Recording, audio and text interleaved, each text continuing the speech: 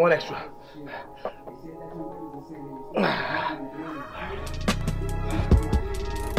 The key, guys, the key to arm development, bicep and triceps, is you want to maximize the movement of this lever. Right, a lot of people when they do triceps, they won't move this lever that much.